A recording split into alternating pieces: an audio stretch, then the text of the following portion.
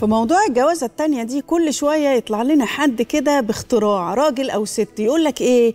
إحنا عايزين ننشر تعدد الزوجات. ليه يا عم؟ ليه يا ست هانم؟ يقول لك أصل إحنا عندنا مشكلتين.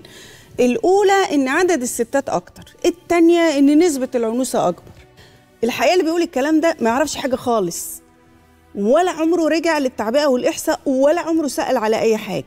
لأنه اولا إحنا عدد الستات مش أكتر. إحنا عندنا عجز في البنات يا جماعة. الهرم الديموغرافي السكاني المصري بيقول لنا عدد البنات والستات في مصر 49% وعدد الرجالة 51% ده معناه إن أنا عندي عجز أكتر من مليون بنت وست. ممكن أستورد من بره على فكرة لو إحنا العدد هنا مش هيكفي. الحاجة التانية ما عندناش حاجة اسمها عنوسة.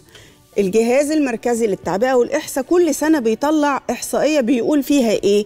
من هم في سن الزواج؟ يعني من أول 18 سنة لحد فوق في سن الزواج ولم يتزوجوا. قد إيه؟ 13 مليون.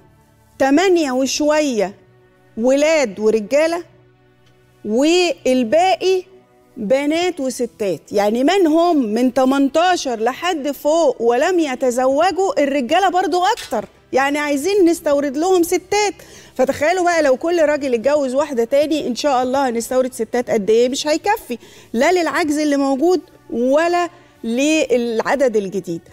لكن الأخطر من كده إنه الحقيقة الموضوع ده مدمر للأسر. يعني ناس كتيرة جدا ما بتشوفش الموضوع بعد فترة بشكله عامل إزاي؟ ما بيبقاش مدمر للستات وبس الرجالة كمان بتدفع ثمن غالي قوي.